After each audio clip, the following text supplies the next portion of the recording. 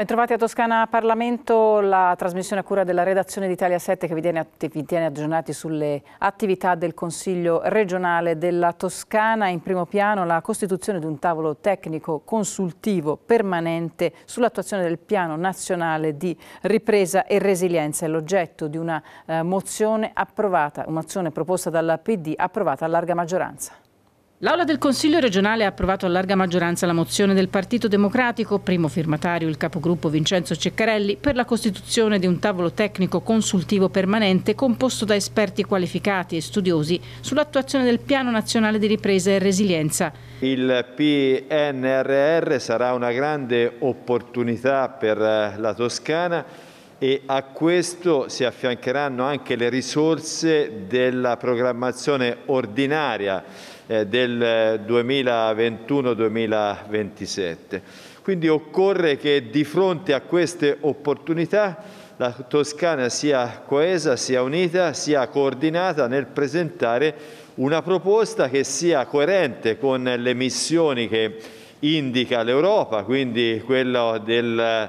transizione verso un'economia più ecologica, del superamento delle differenze tra territori e tra genere, di uno sviluppo sostenibile, di una maggiore coesione sociale. Ecco, per far questo occorre che la Regione svolga una cabina di regia importante nei confronti dei territori, di quella che sarà la capacità progettuale delle, dei comuni, delle province, i suggerimenti che verranno dalle imprese e crediamo che se ci sarà un board di alto profilo in grado anche di dare suggerimenti rispetto alla coerenza e alle priorità per raggiungere questi obiettivi, noi riusciremo meglio a cogliere queste opportunità di queste risorse che arriveranno e che sono fondamentali non soltanto per la ripartenza dopo la pandemia che ha ovviamente acuito le criticità ma anche per rilanciare un sistema economico, un sistema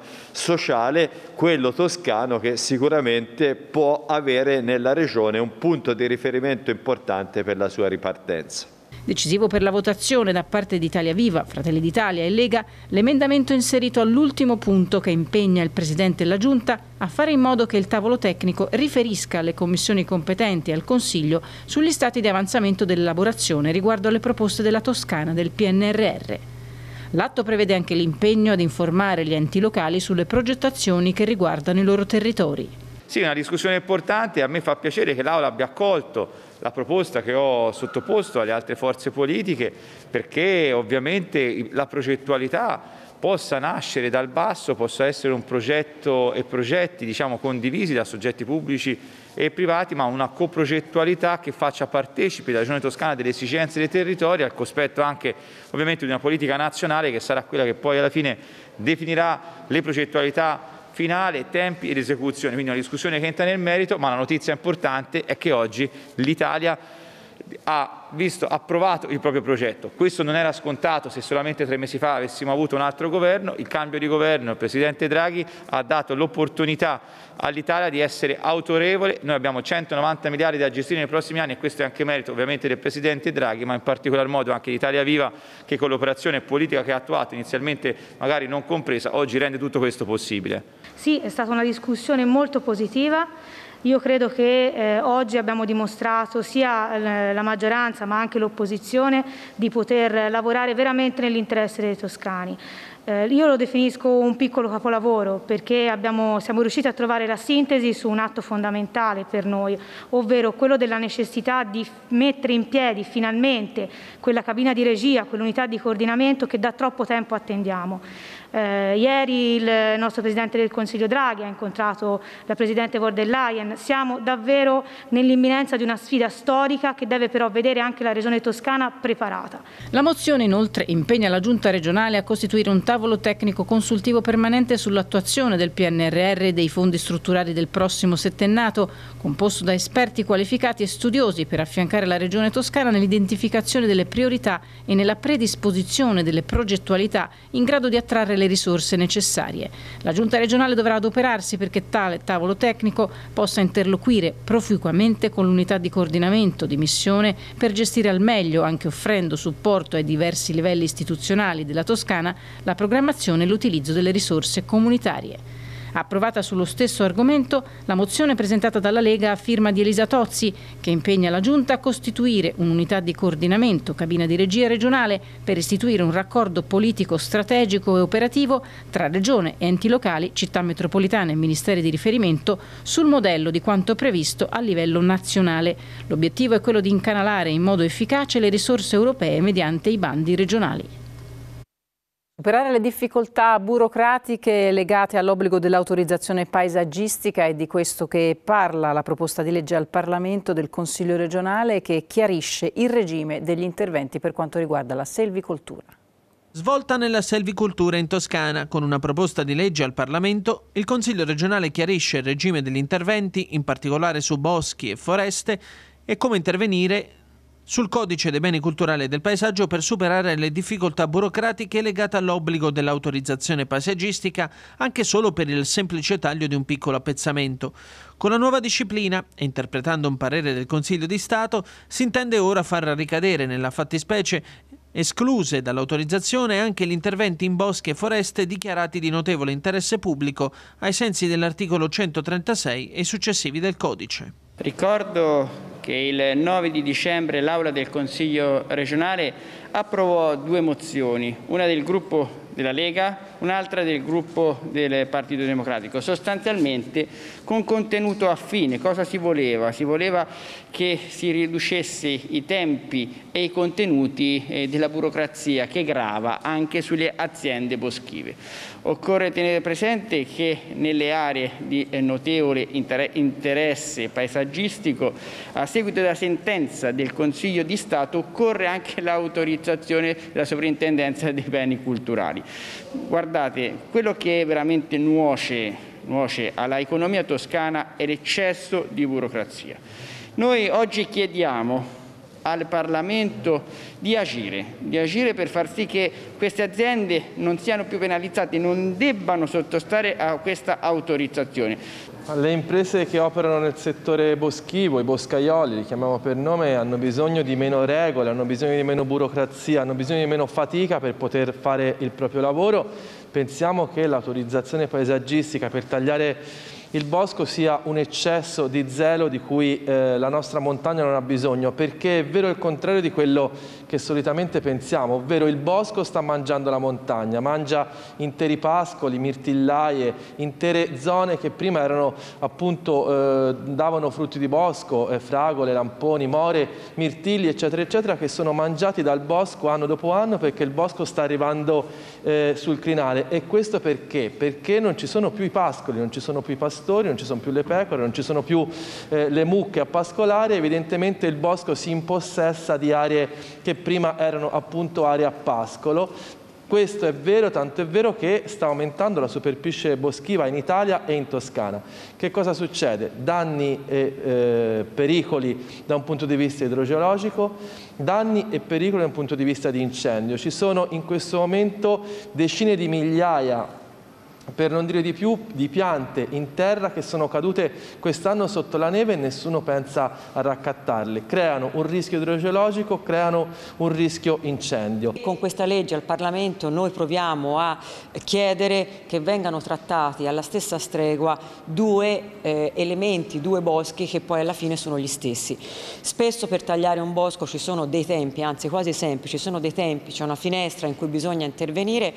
e alleggerire la burocrazia in questi particolari appezzamenti eh, ex articolo 136 vuol dire consentire di arrivare nei tempi corretti per consentire il taglio di un bosco, sempre nella legittimità e con tutte le autorizzazioni necessarie. Però fa parte dell'economia del, della Toscana, fa parte dell'economia della montagna, fa parte della cura di un territorio, spesso in zone che vengono lasciate a se stesse e anche disabitate, quindi vuol dire avere a cuore un'economia di quella toscana interna che può mantenere e fare anche agricoltura in un luogo che è sicuramente eh, più lontano dalle periferie. sono state proposte in Commissione due leggi, una regionale e una nazionale che sarà incardinata al Parlamento. La prima è naufragata semplicemente per illegittimità costituzionale, sarebbe stata impugnata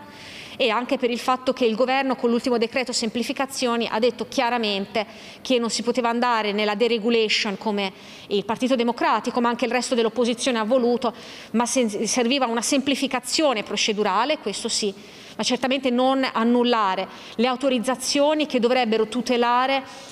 tutti i paesaggi di maggior pregio della nostra regione, quale, dei quali ci vantiamo spesso quando andiamo a fare promozione turistica, ma che ci dimentichiamo di tutelare o addirittura cerchiamo di superare in qualche modo. Sono state date le giustificazioni più svariate che riguardavano l'agricoltura, l'interesse. Io ho visto soltanto prevalere un aspetto economicistico soprattutto declinato in maniera eh, molto disorganizzata e soprattutto che non va certamente a tutelare né la filiera del legno e né gli agricoltori come loro vanno dicendo, parlo della maggioranza, ma che semplicemente andava in un'ottica di togliere delle, delle regole, di non tutelare e che adesso vorrebbero estendere a tutto il territorio nazionale. Con una serie di appuntamenti tutti a ingresso libero e su prenotazione organizzati anche grazie al sostegno del comune di San Casciano dei Bagni in provincia di Siena riparte la rassegna alla terrazza. Riapertura della terrazza di San Casciano dei Bagni, in provincia di Siena, 15 appuntamenti tutti a ingresso libero e su prenotazione, organizzati anche grazie al sostegno del Comune e al contributo del Consiglio regionale della Toscana. Primo appuntamento l'incontro con Maurizio Marinella, imprenditore e punto di riferimento dell'alta artigianalità italiana. La moderatrice per l'occasione sarà Xaba Dalla Zorza, scrittrice e conduttrice televisiva esperta di lifestyle. La terrazza nasce cinque anni fa per volontà del Comune di San Casciano dei Bagni e di un gruppo di amici che insieme abbiamo pensato di creare questa rassegna culturale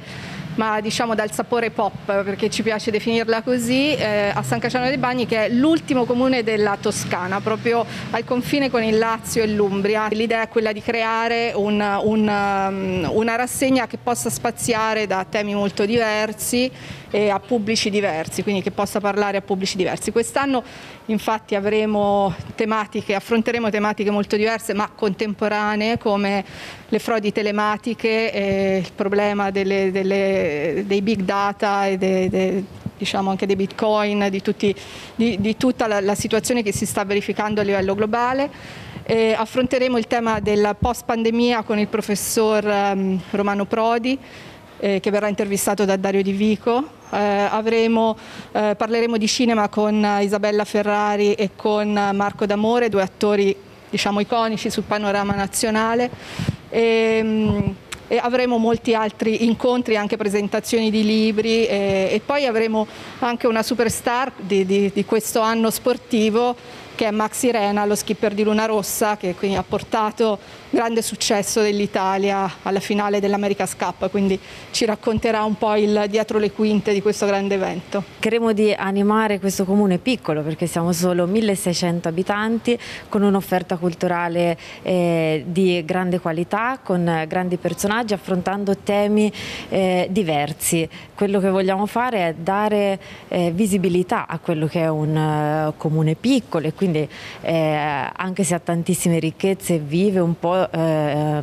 eh, di tutte le difficoltà che i piccoli comuni vivono e vogliamo farlo eh, con dei contenuti importanti come quelli eh, culturali, vogliamo un po' raccontare l'Italia da, dalla nostra piazza. Noi abbiamo l'idea di una Toscana diffusa che abbia la capacità di saper valorizzare le eccellenze che ci sono sui nostri territori. L'appuntamento della terrazza è esattamente questo, riuscire a dare un messaggio di speranza a un'Italia che vuole ripartire, a una Toscana che vuole ripartire, fatta di tanti incontri molto differenti tra loro, ma tutti con un profilo di altissimo livello. Da una piazza, una piccola piazza, c'è la capacità di saper dare una visione molto generale di quello che accade in Toscana e nel mondo. Per questo ho accolto subito con piacere l'invito ed è bello vedere le porte del Palazzo del Pegaso che si aprono, si aprono a tante iniziative culturali, a tanti momenti di ripartenza, eh, il segno davvero che stiamo uscendo dalla fase più difficile della pandemia. Per Toscana Parlamento è tutto, prossimo appuntamento con i lavori del Consiglio per la prossima settimana.